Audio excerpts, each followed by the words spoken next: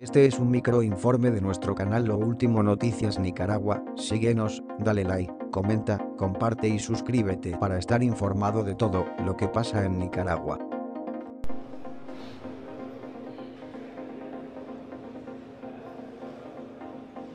Muy buenos días, gracias por estar con nosotros en Nicaragua Actual. Les saluda Héctor Rosales. Nos encontramos en hora de esta mañana a través de este Facebook Live para conversar con doña Kitty Monterrey, quien está con nosotros acá en este medio de comunicación digital. Gracias, doña Kitty, por acceder a nuestra entrevista después de un gran tiempo, pues me volví a reencontrar con su persona, ahora acá desde el otro lado de la frontera de Nicaragua, acá en el exilio. Gracias, doña Kitty. No, gracias a ustedes por la oportunidad. Siempre, siempre uno debe agradecer los medios que cooperan, colaboran y nos apoyan a los opositores, ¿verdad? Y sobre todo ahora en el exilio que es tan difícil para todos. Estoy aquí, te iniciamos el 10 de enero. Hubo un hecho que marcó un antes y un después. Una consolidación, un final de ese fraude electoral que se perpetuó directamente el 7 de noviembre en unas votaciones donde Ortega y Rosario Murillo limpiaron todo el terreno, sacaron del juego a Ceporelli, encerró a opositores, encerró incluso a miembros del partido, le quitó la personalidad jurídica hace por él.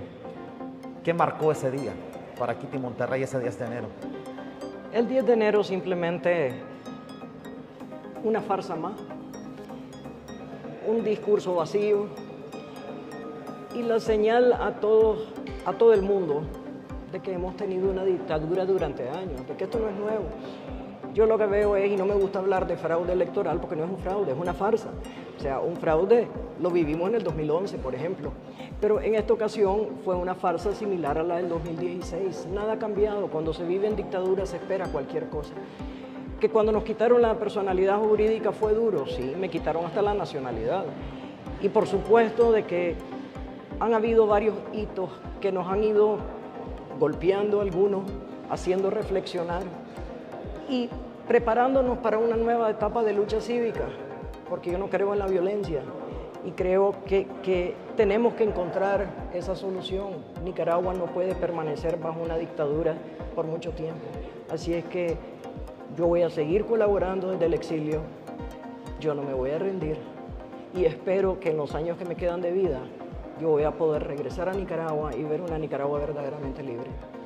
Estoy aquí ese día Daniel Ortega, el dictador nicaragüense, manifestaba una frase en su discurso ante dictadores, ante perseguidos también, ante narcotraficantes, delincuentes, como fueron sus invitados.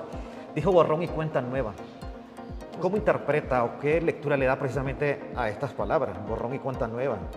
Yo creo que Ortega quisiera, con ese borrón y cuenta nueva, regresar a un país anterior a la rebelión cívica del 2018. Y eso es imposible. Cuando él habla de borrón y cuenta nueva, él quiere como que olvidemos lo que han pasado en estos últimos tres años. Y eso, eso ya no va a volver a ser. Porque Nicaragua cambió, la gente despertó, la juventud empezó a participar hay un rechazo, un repudio total y eso lo vimos precisamente en la farsa con la gran abstención que hubo, sí es casi el 84% de abstención. Entonces la economía está golpeada, ya no hay la inversión que había antes. O sea, se acabó, no es posible un borrón y cuenta nueva. Nicaragua entra en una nueva etapa y esa etapa no admite un borrón y cuenta nueva. Incluso Gustavo Porras, el presidente de la Asamblea Sandinista, al día siguiente en un canal, en un medio oficialista, manifestaba que ese borrón y cuenta nueva también no implicaba en la liberación de los presos políticos. Ustedes siguen demandando esa libertad también. ¿Qué, ¿qué, dice con esto Gustavo Porras? Es que ellos siempre van a decir lo que les dé la gana o lo que les ordena decir el dictador. Pero para nosotros lo más importante, la prioridad es la liberación de esos presos políticos. Yo creo que eso tiene que estar por encima de todo el resto. Y y en, ese sentido es que nos debemos de enfocar todos los opositores y tener un discurso coherente, cohesionado, de cara a los presos políticos. No puede ser que en Nicaragua existan que 170 presos políticos a estas alturas y en condiciones terribles, o sea, la familia golpeada, sufriendo, viendo que ni siquiera tienen una colcha para cobijarse con el frío, hay varias campañas que se están dando, o sea, eh, eh, es inconcebible que estemos viviendo esta tortura, porque es una tortura para todos los nicaragüenses. Ahí, tenemos amigos presos, o sea, gente que queremos. Yo personalmente considero Pedro Joaquín Chamorro, fundador conmigo del Partido Ciudadanos por la Libertad, Mauricio Díaz, presidente de la Comisión de Relaciones Internacionales, y, no, no, sigo mencionando porque tendría que mencionar a muchos que son mis amigos que están ahí y por supuesto que nos duele y esa debe de ser la prioridad de todo, la liberación de esos presos. Ese día Ortega también quedó aislado. Solo un presidente centroamericano que es acusado de narcotráfico incluso por Estados Unidos, Nicolás Maduro, uno de los dictadores, Díaz Canel de Cuba, fueron los únicos mandatarios, entre comillas, que asistieron a esta toma de posición. Luego esto de Sánchez Serén y también otro prófugo de la justicia, incluso hasta un iraní, que Argentina pues también se pronunció. Así es. ¿Qué, qué, qué pasa con Ortega con ese círculo de personas de este tipo. Pero, pero ¿qué es lo que podemos esperar si precisamente las dictaduras eh, tienden a acuerparse entre ellos, verdad? Y para nadie es un secreto de que Ortega siempre ha tenido afinidad precisamente con Venezuela y con Cuba. Lo que a mí me sorprendió eh, de que se pronunciara tan abiertamente en favor del marxismo-leninismo de China, o sea, y lo dijo públicamente. Eh, son unos extremos a los que realmente ha llegado que sí hay un aislamiento internacional, pero hay también una separación de los Estados Unidos con una retórica anti, anti-yanqui, anti-imperialista, cuando es nuestro socio comercial más grande que tenemos. Entonces, creo que, que todo esto pone a Nicaragua en una situación mucho más difícil. El 2022, este año que estamos viviendo, va a ser un año muy duro para los nicaragüenses. Pero tenemos que seguir adelante. Y el mensaje que yo quisiera mandar siempre a todos los que están en Nicaragua es que nosotros aquí desde el exilio vamos a ser facilitadores, vamos a estar con prioridad a apoyar al que está dentro y que siempre tenemos que mandar un mensaje de esperanza de que vamos a salir de esto, de que hemos aguantado situaciones mucho más duras y que esta nos va a permitir, con la fe salir adelante. Ese 10 de enero hubo sanciones por parte de la Unión Europea y también de Estados Unidos. Habrán más sanciones. Ustedes como, como C por L también seguirán en esa lucha para derrotar a esa dictadura.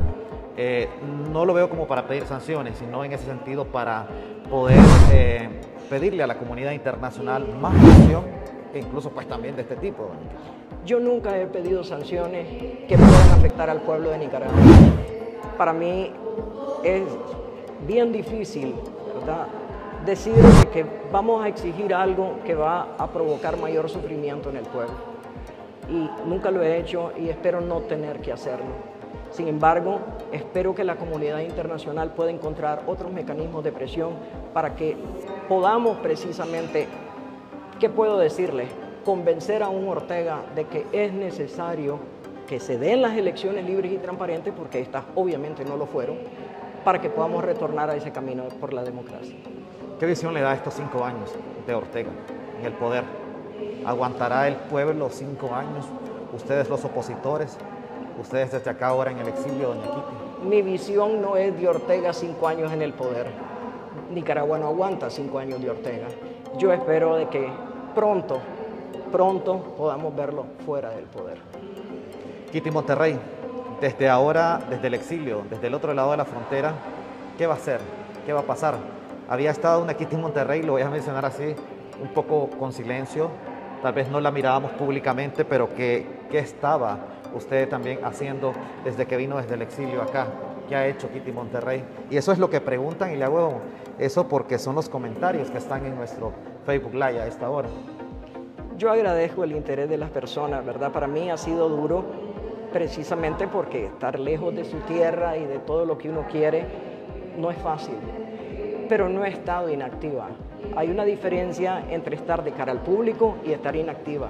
Yo he estado activo desde el primer día que llegué a Costa Rica. Y la prueba de ello es que di declaraciones públicas al día siguiente de haber llegado. Eso significa de que mi actividad se va a tornar pública, espero yo, en las próximas semanas, y voy a empezar a participar más activamente, pero siempre, siempre pensando en la gente que está en Nicaragua. El exilio nos enseña que lo que debemos de hacer ahora es convertirnos en facilitadores para apoyar la lucha y la resistencia cívica dentro del país. Esa es nuestra obligación, esa es nuestra responsabilidad. ¿En qué va a consistir este trabajo? Hay decenas de organizaciones acá en el exilio y lamentablemente diferentes grupos, cada quien anda a lo mejor por su lado acá, hay diferentes organizaciones. ¿Cómo podría trabajar Kitty Monterrey también con el exilio? Porque desde este, desde este exilio, así como pasa con los medios de comunicación, que somos más útil precisamente acá porque allá no podemos eh, eh, ejercer el periodismo. Y ustedes, eh, en este caso, en la vida política. Yo creo que tenemos que ser la voz de los que no pueden expresarse dentro del país. Y no veo yo mayor conflicto, si a eso te referís, entre las múltiples organizaciones que estamos, tanto en el exilio como la diáspora en los Estados Unidos, por ejemplo, ¿verdad? Y en Europa.